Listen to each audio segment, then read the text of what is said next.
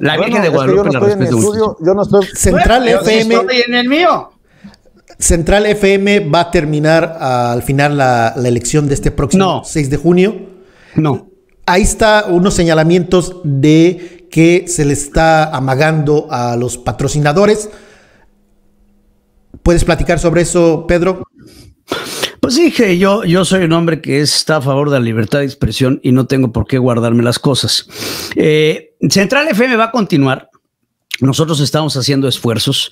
Evidentemente, eh, ante eh, lo que sí podría categorizar como un temor eh, de algunos inversionistas eh, para estar con nosotros por los señalamientos directos. Estamos buscando nuevos modelos de negocio, nuevas inversiones a través de la venta de publicidad que hacemos. Estamos eh, analizando, como bien lo dijo Vicente Serrano, abrir canales de YouTube y buscar la capitalización, porque como se los he dicho en repetidas ocasiones y lo vuelvo a decir, nosotros no vivimos del chayote, nosotros no vivimos más que de las inversiones de nuestros anunciantes, nosotros no estamos pidiéndole dinero al gobierno ni estamos pidiéndole dinero a la Embajada de Estados Unidos, ni estoy aliado con Claudio X González. Yo simplemente estoy aquí como Vicente defendiendo mi libertad de expresión y mi visión del México que yo quiero, que no puede ser el mismo que quiere Vicente, pero creo que México tiene espacio para albergarnos a los dos.